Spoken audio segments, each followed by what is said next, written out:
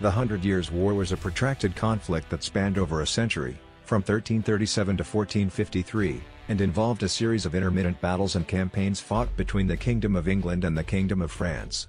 This war was a complex and multifaceted struggle, marked by shifting alliances, political intrigue, and significant social and military developments.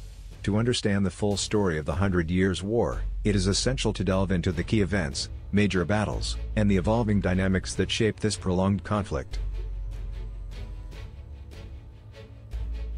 The roots of the Hundred Years' War can be traced back to the complex web of medieval politics, feudal relationships, and territorial disputes between England and France. One of the primary catalysts for the conflict was the claim to the French throne by the English king, Edward III.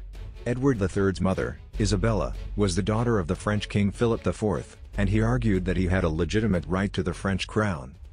Adding fuel to the fire, the English and French monarchies were entangled in a long-standing feud over various territories, including Gascony and Aquitaine, which were under English control.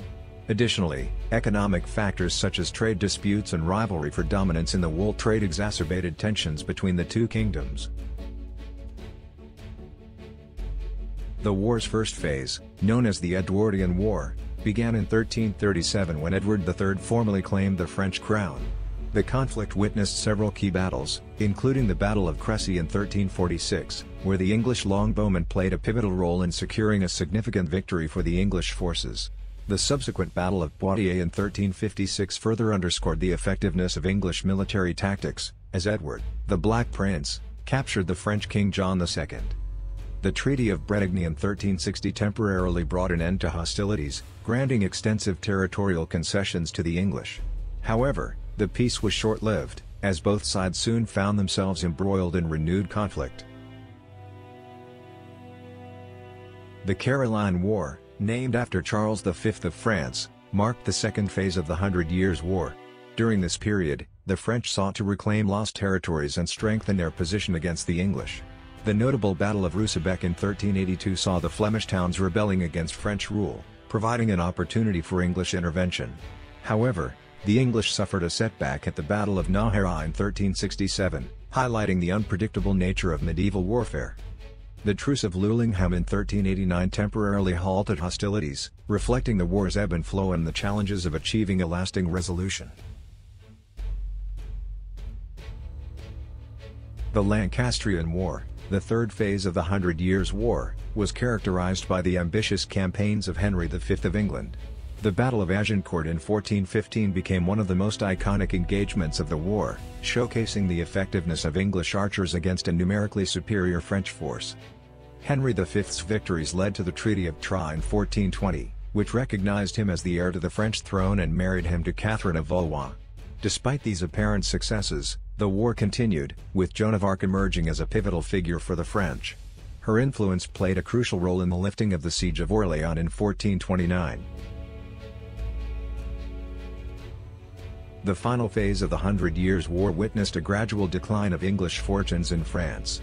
The death of Henry V in 1422 and the subsequent passing of Charles VI of France in 1422 intensified the struggle for control. The conflict saw a shift in momentum, as the French, led by Charles VII, began to reclaim territories. The decisive Battle of Castillon in 1453 marked the end of the Hundred Years' War.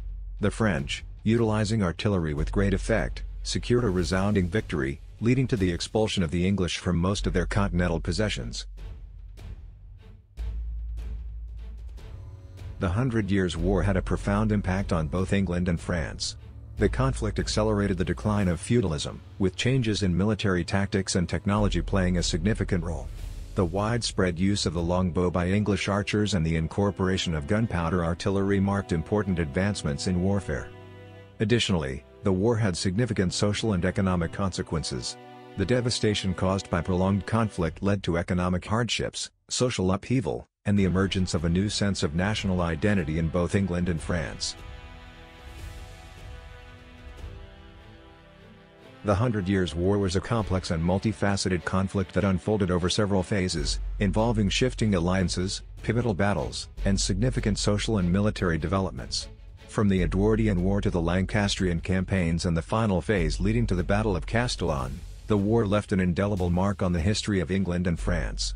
The Hundred Years' War was not just a series of military engagements but a transformative period that shaped the course of European history and laid the groundwork for the Renaissance and the modern era.